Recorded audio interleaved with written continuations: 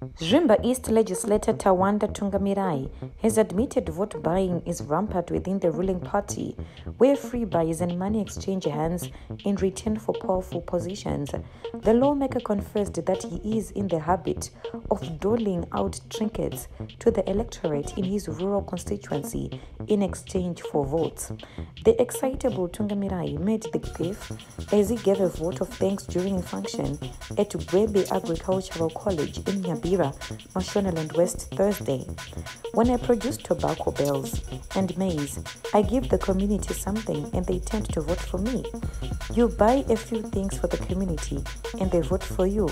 Long ago, people would just vote without demanding anything, but these days they say, do something for us to do something for you. Tungamirai said, These people pester you, they literally beg you and cannibalize on you. So, if I were not a serious farmer, I would not have the capabilities.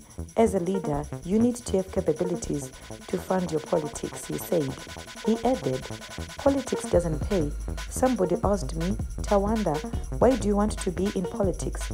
And I have said, Maslow's hierarchy of needs. You get to a point where you just want power, whether you have no cent, but merely to have power.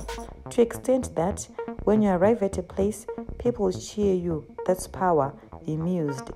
During primary and general elections, ZANU-PF politicians are notorious for luring voters by dishing out food, seed, fertilizer, and branded party regalia such as t-shirts, caps, and wrappers, popularly known as Mazambia.